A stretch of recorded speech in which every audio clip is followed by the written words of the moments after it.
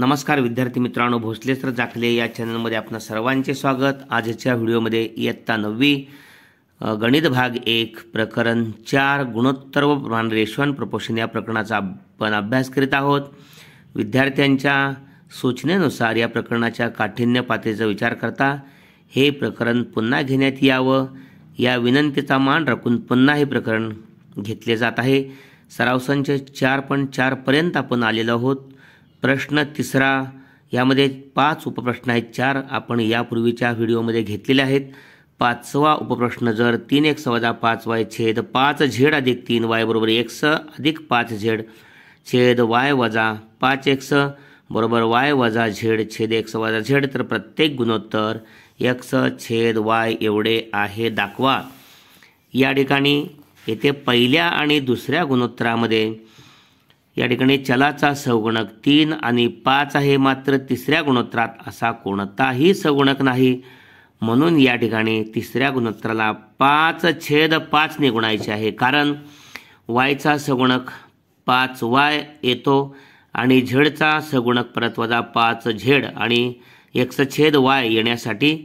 तिसऱ्या गुणोत्तराला पाच छेद पाचने गुणल्यानंतर सोपस्कर जाते म्हणून हा निर्णय घेतलेला आहे घ्यावा लागतो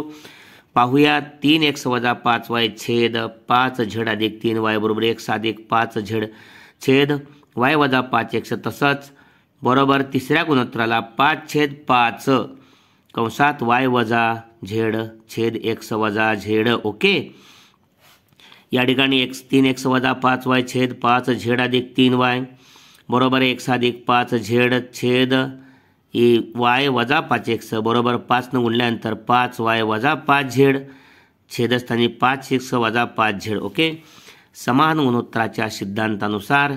या ठिकाणी अंशांची आणि छेदांची बेरीज करून येणारं नवीन गुणोत्तर हे मूळ गुणोत्तर इतकंच असतं मूळ गुणोत्तर समानच असतं समान गुणोत्तराच्या सिद्धांतानुसार प्रत्येक गुणोत्तर अंशांची बेरीज तीन एक्स वजा पाच वाय अधिक एक्स अधिक पाच झेड अधिक पाच वाय वजा पाच झेड छेद पाच झेड अधिक तीन वाय अधिक वाय वजा पाच एक्स अधिक पाच एक्स वजा पाच झेड या ठिकाणी वजा पाच वाय अधिक पाच वाय गेले आणि वजा पाच झेड अधिक पाच झेड येते शून्य तीन एक्स अधिक एक्स चार एक्स छेदस्थानी पाच झेड वजा पाच झेड या ठिकाणी गेलेत शून्य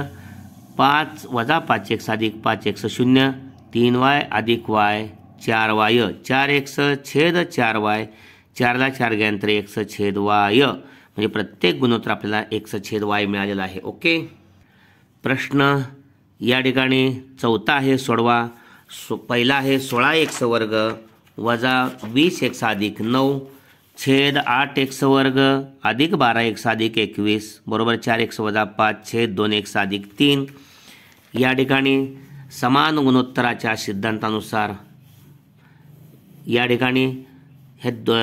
दोन्ही गुणोत्तर म्हणजे डावी बाजू सोळा एक्स वर्ग वजा दो वीस एक्स अधिक नऊ छेद आठ एक्स वर्ग अधिक बारा एक्स अधिक एक्स बरोबर चार एक्स वजा पाच छेद दोन एक्स अधिक तीन या दोघांचेही किमती समान आहेत के मांडलेल्या आहेत बरोबर के गुणोत्तराची किंमत के मांडलेली आहे एक त्यानंतर या ठिकाणी आपल्याला सोळा एक्स वर्ग आणि वजा वीस एक्स दिसते या ठिकाणी दुसऱ्या गुणोत्तराला आपण चार एक्सनं गुणल्यानंतर आपल्याला ही पदे पाठीमागची मिळतात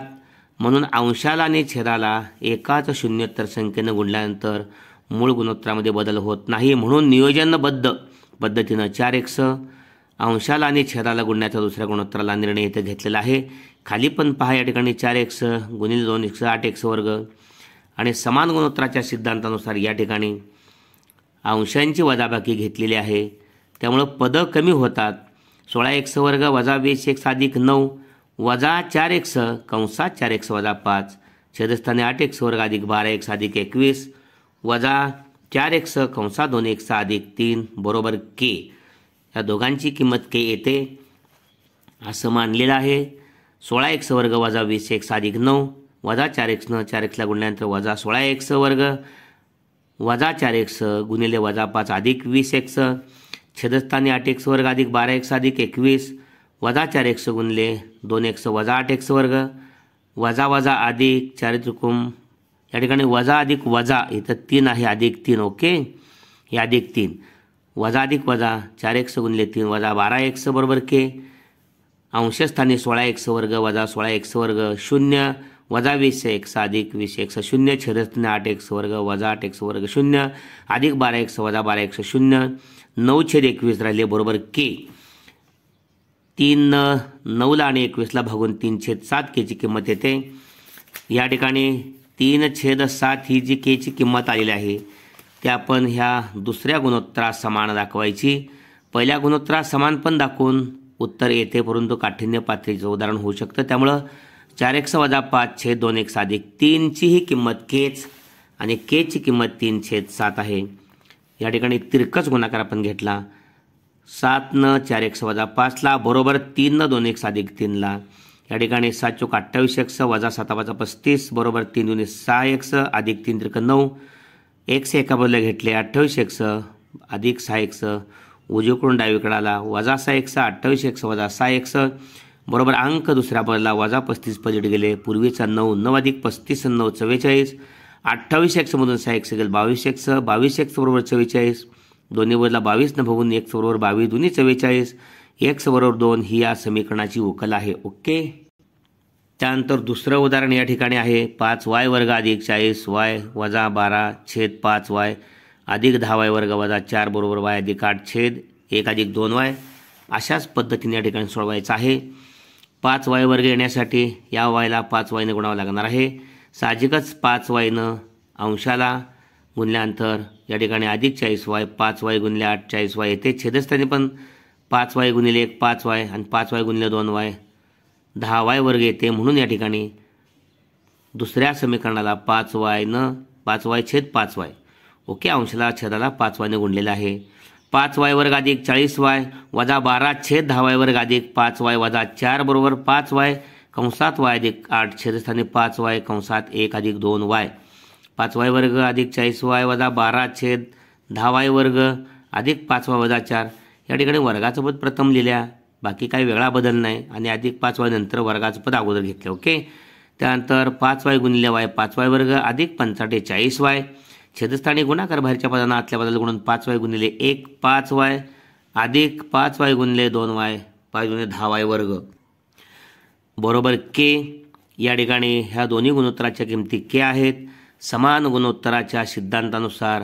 या ठिकाणी अंशांची वजाबाकी घेतलेली आहे छेदांची वजाबाकी घेतलेली आहे पाच वाय वर्ग अधिक चाळीस वाय वजा बारा वजा पाच वाय वर्ग वजा चाळीस वजा करताना या दोघांची चिन्ह बदलणार छेदस्थानी दहा वाय वर्ग अधिक पाच वाय वजा चार वजा पाच वाय वजा दहा वाय वर्ग बरोबर के पाच वाय वर्ग वजा पाच वाय वर्ग शून्य अधिक चाळीस वय वजा चाळीस वय शून्य दहावाय वर्ग वजा दहावाय वर्ग शून्य अधिक पाचवाय वजा पाचवाय शून्य या ठिकाणी वजा बारा छेद वजा चार उरलेले आहेत के बरोबर वजा बारा छेद वजा चार वजा वजा अधिक चार चुकून बारा केची किंमत तीन आलेली आहे आत्ता यापूर्वीच्या उदाहरणाप्रमाणेच या दोघांची किंमत की आहे वाय अधिक आठ छेद एक अधिक दोन वायची किंमत या ठिकाणी तीन ठेवायची आहे आणि वायची किंमत काढायची आहे त्रिकच गुणाकारात वाय अधिक आठ एक्के वाय अधिक आठ बरोबर तीन न एक अधिक व्हायला वाय अधिक आठ तीन एकला तीन एक्के तीन तीन दोन्ही सहा वाय स्वरूप एकत्रित करायचे आहेत ही लहान वाय आहे सहा इकडे गेलेलं आहे सहा वाय वजा वाय अधिक वायचा वजा वाय तीन मागे घेतलेत अधिक तीनचं वजा तीन त्यामुळे आठ वजा तीन बरोबर सहा वाय वजा पाच आठमधून तीन गेले पाच सहा वायमधून पाच सहा वायमधून वाय गेले पाच वाय पाच वाय बरोबर पाच तर दोन्ही बाजूला पाचनं भागून वायबरोबर पाच छेद पाच पाच एके पाच वायबरोबर एक ही या समीकरणाची वकल आहे ओके पुढचा मुद्दा आहे परंपरित प्रमाण कंटिन्यूड प्रपोशन या ठिकाणी पुढील गुणोत्तरे आपण विचारात घेतली चारास बारा आणि बारास छत्तीस ही दोन्ही गुणोत्तरे समान आहेत पहा चारास बारा बरोबर बारा छत्तीस छत्तीस आणि चारचा गुणाकार एकशे चव्वेचाळीस येतो आणि बारा गुणिले बाराचाही गुणाकार एकशे चव्वेचाळीस येतो या दोन प्रमाणातील पहिल्याचे उत्तर पद आणि दुसऱ्याचे पूर्वपद समान आहे या ठिकाणी म्हणजेच ही बारा आणि बारा ही दोन पदे समान आहेत म्हणून चार बारा छत्तीस या संख्या परंपरित प्रमाणात आहेत चार बारा आणि छत्तीस या तीन संख्या परंपरित प्रमाणात आहेत बारा डबल वेळ आलेली आहे सारखीच असल्यामुळे चार बारा छत्तीस असा उल्लेख केला आहे मधली संख्या समान आहे आशावाला परंपरित प्रमाण हा उल्लेख होतो जेव्हा ए छेद या संख्या परंपरित प्रमाणात आहेत असे म्हणतात चार बारा छत्तीस दोन्ही गुणोत्तर समान असतील आणि या पहिल्याचं उत्तरपद बारा आणि दुसऱ्याचं पूर्वपद बारा हे दोन्ही समान आहेत जेव्हा ए भागिले बी बरोबर बी भागिले सी तेव्हा ए बी सी या संख्या परंपरित प्रमाणात आहेत असे म्हणतात म्हणजे ज्या ठिकाणी तिरकच गुणाकार आपण केला तर बी गुणिले बी बी वर्ग बरोबर ए गुणिले सी ए सी बी वर्ग बरोबर ए सी तर दोन्ही बाजूंना बी सीने भागून ए भागिले बी बरोबर बी भागिले सी हे समीकरण मिळते या ठिकाणी ए भागिले बी बरोबर बी भागिले सी म्हणजे बी वर्ग बरोबर ए सी दोन्ही बाजूला इथं म्हटलेलं आहे बी सीने भागून याला पण बी सीने भागलं याला बी सीने भागलं इथं बीला बी जाऊन वरती एक बी खाली सी बी छेद सी सीला सी जाऊन ए छेद बी ओके बी छेद सी बरोबर ए छेद बी म्हणजेच बी गुणले बी बी वर्ग बरोबर ए सी ओके या ठिकाणी ए सी बरोबर बी वर्ग तर ए बी सी येथे परंपरित प्रमाणात आहेत असे म्हणतात जेव्हा ए बी सी परंपरित प्रमाणात असतात तेव्हा बीला ए व सी यांचा भूमिती मध्य म्हणतात जॉमेट्रिक मीन किंवा मध्यम प्रमाणपद मेन प्रपोशनल म्हणतात ओके या ठिकाणी पहा ही विधाने समानार्थाची आहेत ए छेद बी बरोबर बी छेद सी म्हणजेच बी वर्ग बरोबर ए सी म्हणजेच ए बी सी परंपरित प्रमाणात आहेत म्हणजेच बी हा ए आणि सीचा भूमितमध्ये आहे किंवा बी हे ए व सीचे मध्यम प्रमाणपद आहे या पाचही विधानांचा अर्थ एकच आहे ओके इथं या ठिकाणी के रीत म्हटलेलं आहे के मेथड गुणोत्तरामध्ये के पद्धती ही समान गुणोत्तरातील म्हणजेच प्रमाणावरील काही प्रश्न सोडण्यासाठी एक सोपी रीत आहे म्हणजेच या ठिकाणी समजा ए भागिले बी बरोबर सी भागिले डी ही दोन्ही गुणोत्तरे समान असतील तर या दोघांची किंमत के येते असे समजलं तर ए भागिले बीची पण किंमत के असेल तर ए बरोबर भागिले बी केला गुणिले ए बरोबर बी के सी भागिले डीची पण किंमत काय असेल तर भागिले डी ब भागिले डी हा केला गुणिले गेल्यामुळं सी बरोबर डी के म्हणजे उदाहरणामध्ये आपल्याला ज्यावेळेला आपण दोन्ही बाजू किंवा सिद्ध करा अशा पद्धतीची उदाहरणं सोडवतो पाच ए वजा तीन सी छेद पाच बी वजा तीन डी बरोबर सात ए वजा दोन सी छेद सात बी वजा दोन डी अशा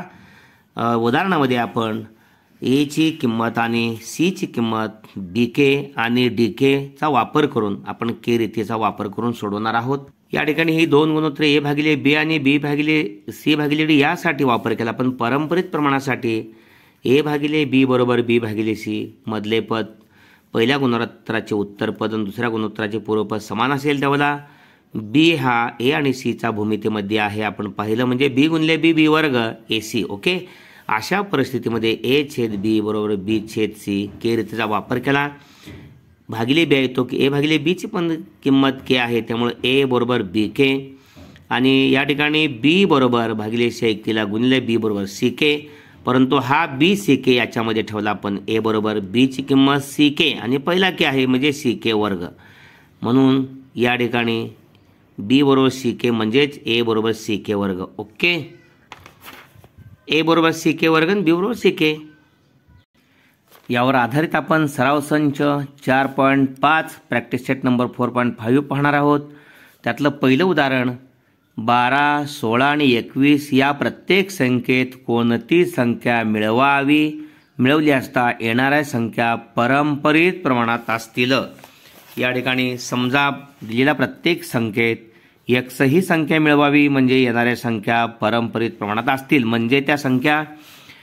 बारामध्ये बारा अधिक एक्स एक्स मिळवल्यामुळं सोळामध्ये सोळा अधिक एक्स आणि एकवीसमध्ये एकवीस अधिक एक्स अशा संख्या त्या होतील त्या परंपरित प्रमाणात आहेत म्हणजे या ठिकाणी पहिल्या संख्येचे या ठिकाणी उत्तरपद आणि दुसऱ्या संख्येचे पूर्वपद गुणोत्तराचे या ठिकाणी पूर्वपद समान आहे मधली संख्या या ठिकाणी डबल वेळा येते बारा अधिक एकशे छेद सोळा अधिक एकशे बरोबर सोळा अधिक एकशे छेद एकवीस अधिक एकशे बरोबर के म्हणू या ठिकाणी समान गुणोत्तराच्या सिद्धांतानुसार या ठिकाणी सोळा मोठी संख्या आहे म्हणजे दुसऱ्या गुणोत्तरामध्ये सोळा मोठी संख्या आहे एकवीस मोठी संख्या म्हणून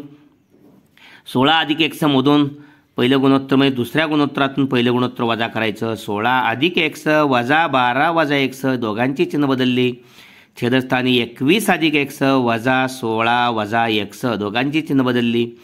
वजा एक्सला अधिक एक्स गेले इथे वजा एक्सला अधिक एक्स गेले सोळामधून बारा गेले चार उरले एकवीसमधून सोळा गेले पाच उरले त्यामुळं बारा चार छेद पाच ओके केची किंमत दोघांची किंमत चार छेद पाच आहे पण दोघांसाठी के मांडलेलं आहे समान गुणोत्तर आहेत म्हणून या ठिकाणी बारा या ठिकाणी बारा अधिक स छेद सोळा अधिक एकस साठी चार छेद पाच म्हणूया किंवा याच्या सणी म्हणूया येणारी एकशेची किंमत तीच येते बारा अधिक स छेद सोळा अधिक ची किंमत के म्हणजे चार छेद पाच तिरकस गुणाकारात बारा अधिक एकसला पाच बरोबर चारला सोळा अधिक एकस बारा पंचे साठ अधिक पाच गुणले एकसं पाच एकसं बरोबर सोळा चौक चौसष्ट अधिक चार गुणले एकसं चार एकसं या ठिकाणी स्वरूपपदं एका बदल घ्यायचे आहेत अधिक पाच एक्स पलीकडला चार एक्स मागं घेतला पाच एक्स वजा चार एक्स चौसष्ट पलीकडं आहे अधिक साठ पलीकडून वजा साठ चौसष्टमधून साठ गेले चार उरले पाच समधून चार एकशे गेले एक एक्स उरला म्हणजे एकशेची किंमत चार म्हणजे दिलेल्या प्रत्येक संख्येत चार ही संख्या मिळवली तरच पारंपरिक प्रमाणात या संख्या होतात पहा तळा या ठिकाणी बारा सोळा आणि एकवीस ओके आता सध्या या ठिकाणी बारामध्ये आपण चार मिळवले सोळा झाले सोळामध्ये चार मिळवले वीस झाले एकवीसमध्ये चार मिळवले पंचवीस झाले म्हणजे मधल्या पदाचा वर्ग वीसचा वर्ग चारशे बरोबर सोळा गुणले पंचवीस सोळा पंचे ऐंशीला शून्याच्या आठ सोळा जून बत्तीस नाट चाळीस ओके चारशे बरोबर चारशे म्हणजे चार मिळवावं लागेल या ठिकाणी सराव संच चार पॉईंट चारमधलं पाचवं आहे if three x minus five y upon 5z plus 3y is equal to x plus 5z upon y minus 5x is equal to y minus z upon y minus z upon x minus z then show that every ratio is x upon y okay here the second term of the predecessor predecessors of the first and second ratio contains the terms of minus 5y and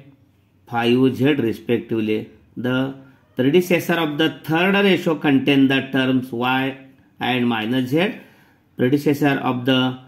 result do not contain the terms y and z. So multiply both the terms numerator and denominator of the predecessors of the third ratio by 5. We get here 3x minus 5y upon 5z plus 3y is equal to x plus 5z upon 5y minus 5x is equal to 5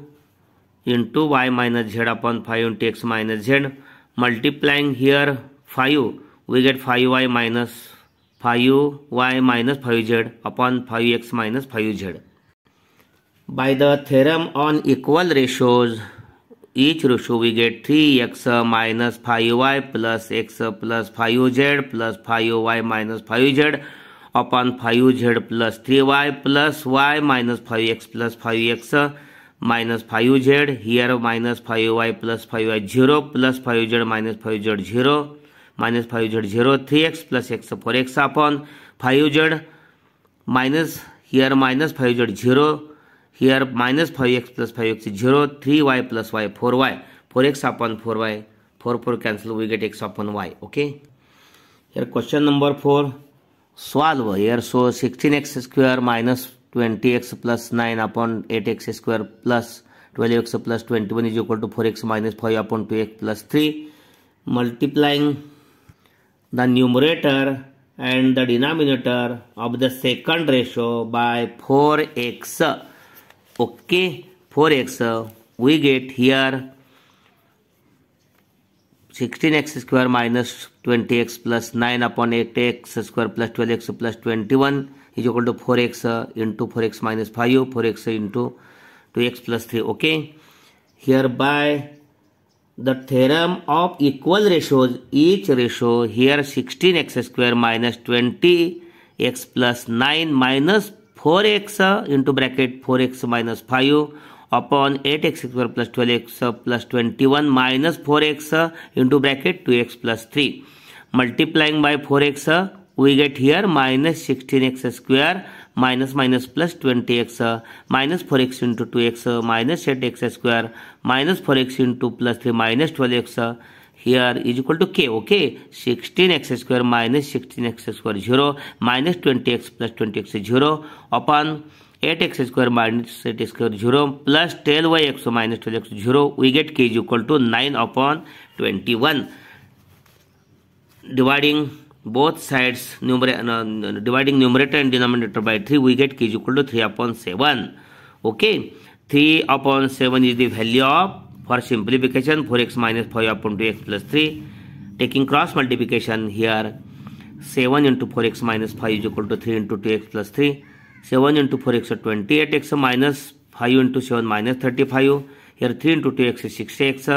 plus 3 into 3 9 20x plus uh, 6x minus 6x 20x minus 6x is equal to 9 minus 35 to 35 9 plus 35 44 20x minus 6 is 22x is equal to 44 dividing both sides by 22 we get x is equal to 2 here 2 is the solution of the given equation okay then what is a continued proportion let us consider the ratios 4 to 12y and 12 to 36 they are equal ratios in the two ratios the successor that means the second term of the first ratio is equal to the predecessor that means first term of the second term are equal that means 12 over 12 hence 4 12 over 36 are said to be in the second continued proportion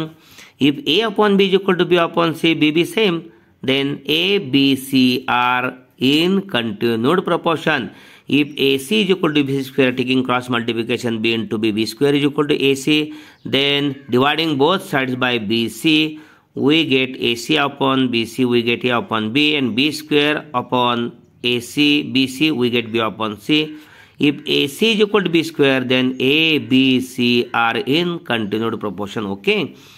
When A, B, C are in the continued proportion, then B is known as geometric mean of A and C. That means B is a geometric mean of A and C. That means B square is equal to AC. And A and C are mean proportion of A and C. Hence, all the following statements, five statements, are same meaning. Okay, convey the same meaning. See here, first A upon B is equal to B upon C. That means B, B into B, B square is equal to A into C, B square is equal to AC. That means B square is equal to AC. That means third statement A, B, C are in the continued proportion. That means B is the geometric mean of A and C. Okay. B is the geometric mean of A and C. Means B square is equal to AC. Means A upon B is equal to B upon C. Okay. B fifth statement. B is the mean proportion of A and C. Okay. What is K method? Very uh, simple method then uh, the K method is used to solve examples based on the equal ratios that is equal proportions. In this simple method, every equal ratio is assumed to be equal to K. That means if A upon B is equal to C upon D, here A upon B is equal to C upon D, that means A upon B is equal to C upon D is equal to K, that means C upon B is equal to K, A is equal to BK, okay. C upon D is equal to K, that means C is equal to DK in continued proportion suppose a upon b is equal to b upon c is equal to k a upon b is equal to b upon c is equal to k that means a is equal a upon b is equal to k is equal to bk b upon c is equal to k b is equal to ck putting this value in this equation we get a is equal to b c k into k c k square that means a is equal to bk and b is equal to ck and a is equal to ck square okay practice set number 4.5 which number should be subtracted from 12 16 and 21 so that resultant number resultant number are in the continued proportion let us here the number x be added added okay added added to each of the given number that means the then the numbers will be 12 plus x uh, 16 plus x uh, and 21 plus x uh, are in continued proportion that means here 12 plus x upon 16 plus x is equal to 16 plus x upon 21 plus x is equal to say k okay that means k is equal to here 16x plus x here by using by the theorem on equal ratios two ratios the value is k okay therefore k is equal to 16 plus x minus 12 minus x upon 21 plus x minus 16 minus x here minus x plus x 0 plus x minus x 0 16 minus 12 4 21 minus 16, 5. 4 upon 5, that means the value of k is 4 upon 5. That means k 4 upon 5 is the value of 16 plus x upon 21 eh, plus x, or 12 plus x upon 16 plus x is equal to 4 upon 5. Okay. Suppose 12 plus x upon 16 plus x is equal to 4 upon 5, taking cross multiplication. 12 plus x into 5 is equal to 4 into 16 plus x. 5 into 12 is 60 plus 5 into x. 5x is equal to 4 into 16 to 64 plus 4 into x 4x. Here that means 5x minus 4x is equal to 64 minus 60. 5x minus 4x is equal to 1x. Okay, 5x minus 4x. 64 minus 60, x is equal to 4. Okay, that means 4 should be added to each of the given number okay four should be added to each of the given number then resultant number are in continued proportion okay अशा पद्धतीनं हा video आपण जरूर like करा आणि आपल्या सर्व विद्यार्थी मित्रांना पाठवून त्यांनाही सहकार्य करा धन्यवाद